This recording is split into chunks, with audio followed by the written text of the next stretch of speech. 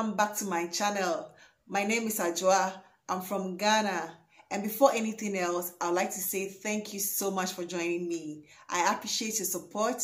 If you are new here, please consider subscribing. And if you're a returning subscriber, I say thank you so much. I feel blessed by your support and your presence. So a couple of videos ago, I introduced a fragrance by Ard Al Zaafaran called Saheb. And I'm here with a full detail because I've been able to wear it a little more.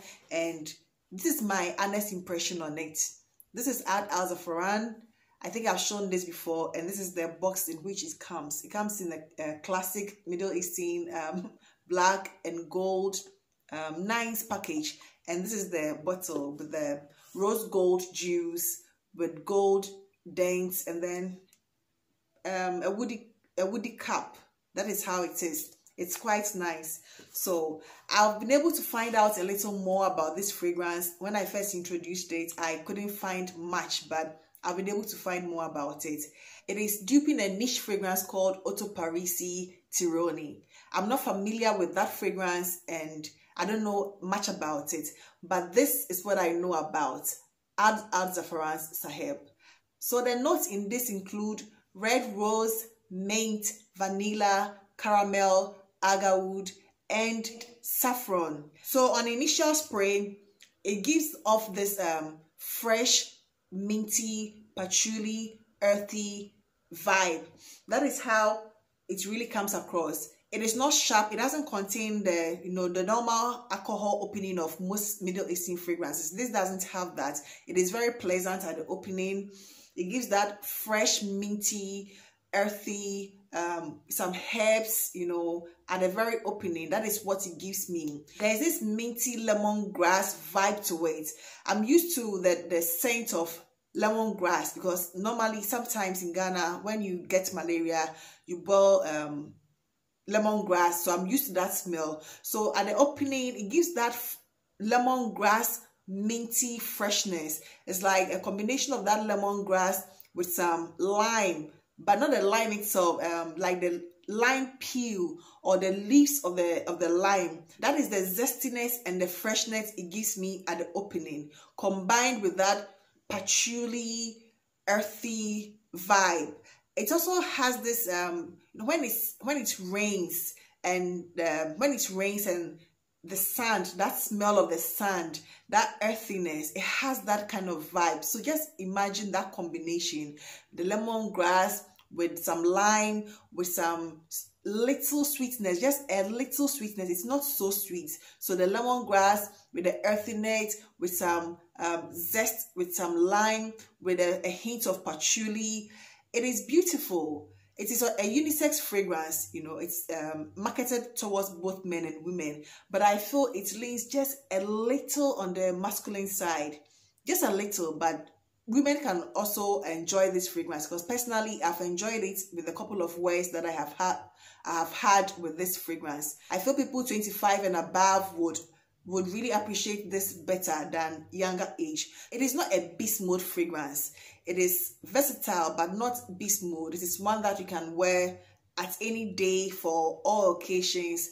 I think it will suit better, you know, for work, um, daytime, but you can also rock it in the evening and it will be pleasant. It's got this herbal vibe to it, you know. I think because of the um the lime and the freshness, it's got this herbal, earthy patchouli vibe to it, which is very nice. The one thing I didn't really appreciate or I don't really appreciate about this fragrance is the longevity and the projection it is average. It is not beast mode you know. Uh, i expected quite a lot from this but it is just uh, it gives me about four hours you know. It it projects just the first hour and then it becomes quite a, a skin scent. And it, it doesn't also you know um it is average. So that is my disappointment in this fragrance it doesn't um, project that much. People maybe people around you arm's length can smell you but it doesn't fill up a room. And it lasts about four hours on my skin. And after the first two three hours i have to sort of dig up to smell it. So it, it is that is my only disappointment with this fragrance.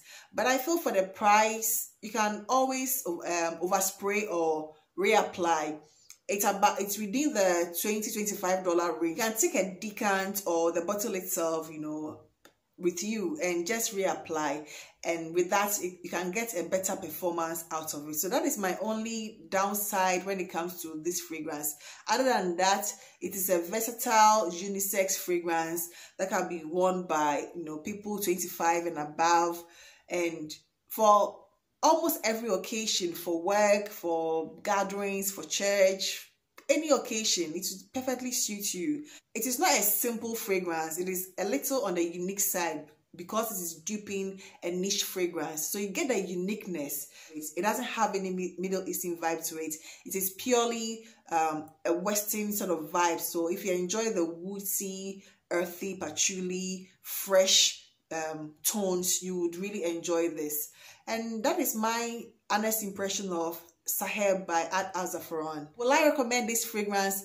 Definitely. I would 100% recommend this fragrance. It is versatile, it is um, affordable, you can use for all occasions so and it's unisex if you are looking for something that is affordable and versatile and for daily use why not so that's all i have on saheb by ard al zaafaran I'd like to say thank you so much for joining me today.